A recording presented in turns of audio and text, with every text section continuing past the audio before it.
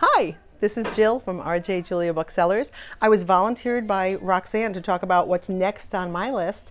Haven't started it yet, but it's what we're reading for my, my book club.